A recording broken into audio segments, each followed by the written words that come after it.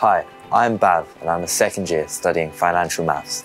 Today I'll be taking you on a tour of Rutland Hall and showing you why it's one of the best places to live on campus.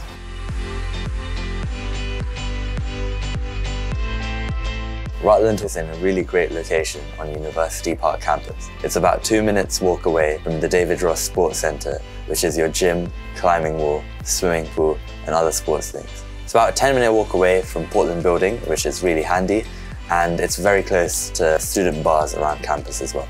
This is my bedroom. It's a single study, there's lots of storage space, and in general, the room is quite spacious too. I really like it here.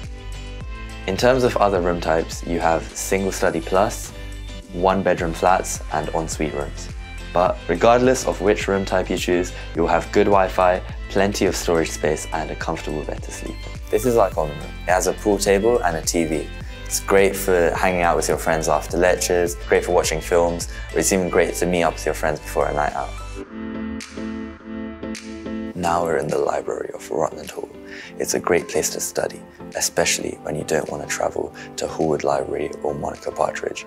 This is another great space to study and revise, but it's also a great place to just socialize and chill with your friends. One of the best things about Rutland is our dining hall. Because we're catered accommodation, there's a great selection of options.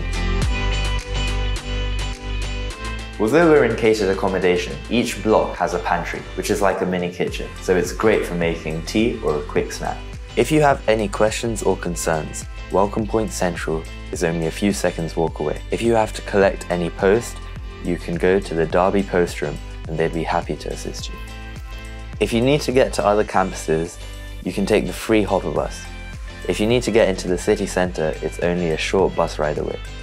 The residential experience team, known as ResX, support your well-being whilst you live with us in halls. There are lots of fun activities to get involved with, and the team are always on hand if you need to have a chat about anything.